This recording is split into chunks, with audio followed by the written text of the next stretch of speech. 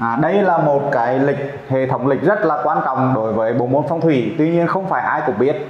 À, hiện nay như các bạn đã biết rồi đa phần chúng ta tìm hiểu về phong thủy hay là tìm hiểu về những cái à, nền huyền học của phương đông thì đa phần chúng ta sẽ sử dụng cái âm lịch thường. À, âm lịch thường tức là cái ngày âm lịch mà chúng ta hay sử dụng đó. Ví dụ như ngày rằm là à, 14 15 hay vân vân hay là ngày Tết của chúng ta là Tết Nguyên đán là mùng 1 tháng 1 âm lịch. Đó chính là cái âm lịch bình thường tuy nhiên thực tế mà nói trong phong thủy mà cái lịch mà để dùng cho phong thủy chính xác đó phải là lịch tiết khí chứ chúng ta không thể dùng được âm lịch thường nếu như dùng âm lịch thường thì khi làm phong thủy chúng ta sẽ có một số cái sai số vì vậy để cho cái việc phong thủy làm phong thủy của chúng ta được chính xác cũng như chúng ta hiểu biết được cái à, chính xác về cái phong thủy thì chúng ta cần phải tìm hiểu về cái lịch tiết khí Thế như vậy bình thường chúng ta sẽ thấy được rằng là chúng ta có hai cái hệ thống lịch mà chúng ta thường sử dụng hàng ngày đúng không ạ? Đầu tiên đó là dương lịch. Rồi, thứ hai đó là âm lịch. Và thứ ba mà chúng ta sẽ hôm nay đó là lịch tiết khí. Đó. Vậy dương lịch là gì? Dương lịch thì chúng ta biết rồi, chúng ta dựa lên mặt trời, đúng không ạ? Âm lịch là mặt trăng. Rồi, và cái lịch tiết khí này nó cũng có quan hệ mật thiết với mặt trời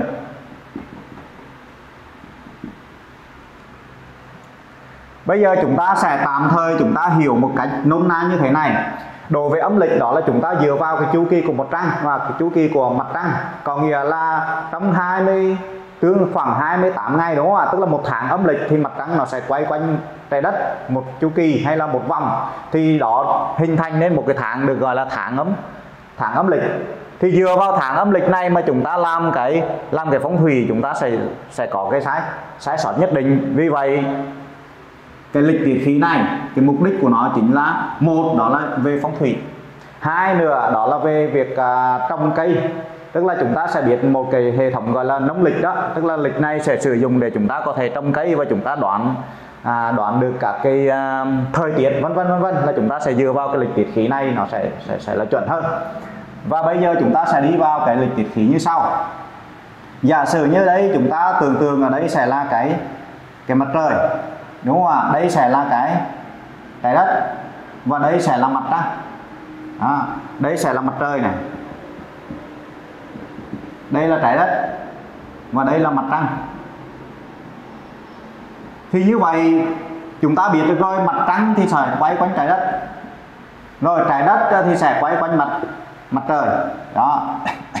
Thì chu kỳ của mặt trăng quay quanh trái đất đó là khoảng một tháng âm lịch rồi chu kỳ của trái đất mà quay quanh mặt trời thì khoảng một năm dương lịch tức là à, khoảng 365 ngày 1 phần tư. À, thì ở đây tạm thời chúng ta sẽ không nói đến cái cái âm lịch mà chúng ta sẽ nói đến cái dương lịch và cái lịch tiết khí. Bởi vì dương lịch và cái lịch tiết khí này là có một cái mối tương quan à, khá là mật thiết với nhau. Đầu tiên chúng ta hiểu được đầu tiên là dương lịch. Đúng không ạ? Về dương lịch thì chúng ta sẽ thấy được rằng khi mà chúng ta học địa lý thì trái đất của chúng ta có phải là chia thành những cái đường đường ngang này đường dọc này được gọi là kinh độ đúng không ạ? Và đường ngang này được gọi là vĩ độ đó cả cái đường ngang được gọi là vĩ độ à, tức là cái mục đích chia kinh độ vĩ độ là để xác định được cái vị trí của à, của mỗi điểm trên trái đất của chúng ta nó ở là mấy kinh độ và mấy độ ở vị vị độ đúng không ạ? Một cái điểm bất kỳ một cái vị trí bất kỳ trên trái đất chúng ta chúng ta muốn xác định giống như là có tọa độ. Tức là kinh độ và vị độ để nó xác định được cái tọa độ của một cái vị trí bất kỳ trên trên trái đất của chúng ta.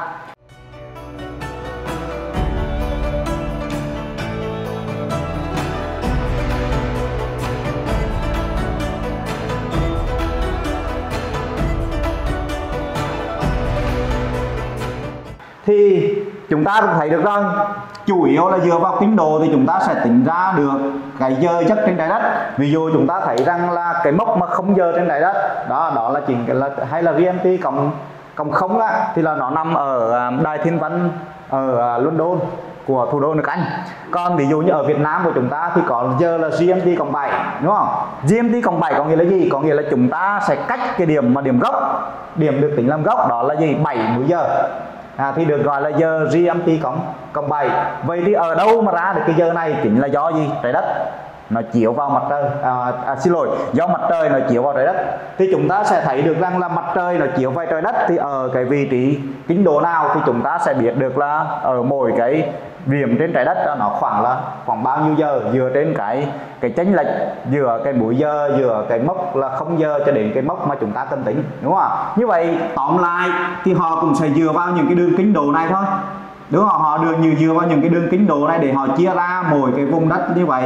Đúng không? Là sẽ là được GMT cộng mấy à nó sẽ là chia một cách tương đối là như thế để chúng ta hiểu được như vậy là gì? Điều này có nghĩa là gì? Cái giờ giấc hay là cái dương lịch của chúng ta là chúng ta sẽ lấy một cái điểm. Đúng không? Chúng ta sẽ lấy một cái điểm trên trên trái đất này và chúng ta xem thử cái mặt trời của nó nó đang ở, đúng không? Nó đang ở một cái vị trí, một cái kinh độ nào của trái đất, đúng không? Ví dụ mặt trời nó chiếu vào đây, đúng không? Ví dụ ví dụ mặt trời nó chiếu vào vị trí này, đúng không? Thì đây là đây là giờ khác mặt trời nó qua nó chiếu ở vị trí này là giờ khác mặt trời nó qua nó chiếu ở vị trí này là giờ khác. Tức là những cái kinh độ như thế này nó sẽ có những cái múi giờ khác nhau. À, đây là cái mà chúng ta tạm thời dễ hiểu thôi nha. Còn khi mà đi vào tính thì nó sẽ tức phức tạp hơn là nhiều. Nhưng mà các bạn mới làm quen với cái bộ môn phong thủy vì vậy mình đưa về những cái gì để các bạn tạm thời các bạn sẽ dễ hiểu nhất cái đã rồi. À, và mình nhắc lại như vậy là gì? Khi mà để tính cái dương lịch này này để sẵn để hiểu về cái dương lịch này thì chúng ta cứ tưởng tượng là chúng ta sẽ ở trên cái trái đất này và chúng ta xem thử cái mặt trời nó chiếu ở trái đất nó vào cái góc nào. Đó thì đó chính là hệ thống là dương dương lịch. Có nghĩa là chúng ta sẽ lấy cái trái đất này làm góc và xem thử mặt trời nó đang chiếu ở góc nào ở cái độ số nào ở cái kinh độ nào trên trái đất. À, còn đối với cái lịch tiết khí này nó lại ngược lại lịch nhiệt khí này ngược lại có nghĩa là sao? Lúc này chúng ta sẽ không lấy cái gốc của chúng ta ở trái đất mà chúng ta sẽ lấy gốc của chúng ta là mặt trời. Có nghĩa là chúng ta sẽ tưởng tượng này cái mặt trời của chúng ta nó cũng sẽ chia thành những cái đường kính độ đó những cái đường kính độ như thế này được gọi là kính độ mặt trời. À, và mỗi cái kính độ này theo nhớ nhầm là nó khoảng 15 độ. À, bởi vì mình sẽ có tổng cộng là hai ba trăm sáu mươi độ đúng không? Mà mình chia cho 24 tiết khí thì mỗi tiết khí nó còn 15 độ. Đó. Thì người ta sẽ chia như cái đồng mặt trời này, chia làm nhiều cái kinh độ khác nhau. Người ta gọi là kinh độ mặt trời. Thì mỗi cái kinh độ như vậy nó sẽ chênh nhau khoảng 10 15 độ. Điều này có nghĩa là rằng, bây giờ khi mà tính liệt tiết khí thì chúng ta lại xem từ cái mặt trời này và chúng ta xem từ cái trái đất này, nó ở cái vị trí nào so với kinh độ của mặt trời. Đúng không thì lúc này chúng ta xem mặt trời là đứng yên. Mặt trời là đứng yên thì trái đất nó sẽ quay quanh mặt trời đúng không nó sẽ quay quanh mặt trời. Nó quay quanh mặt trời thì lúc này nó sẽ đến những cái vị trí, những cái kính độ mặt trời này thì nó sẽ tạo nên một cái cái tiết khí. Đó, khoảng cách như vậy được gọi là là tiết khí.